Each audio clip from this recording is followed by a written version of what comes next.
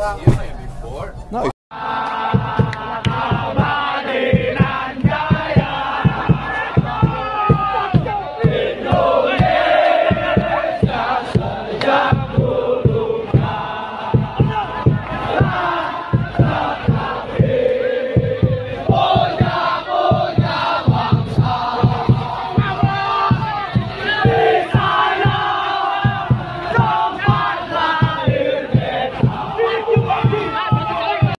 again, guys, this is a is a sad situation. I don't get wanna get involved, but we have to report that because that is not nice. It's not nice for AFF football. It's not nice for Indonesia.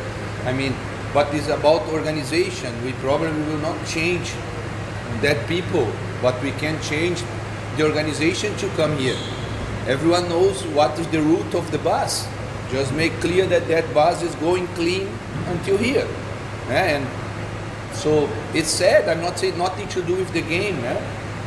but it's a moment where you really start to be a bit afraid. I, I was afraid, if I'm honest, because they are hitting the glasses, hitting the glasses, and the glass crack, and this before a match.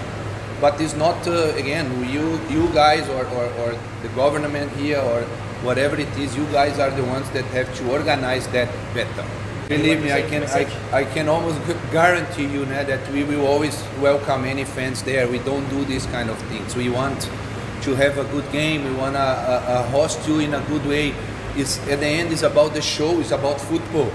We don't want to see these kind of things. né? It's very clear. That we don't want, and I can guarantee that that again, it's not a revenge or nothing. We are there to support football, and our fans are there to support us, and that's it.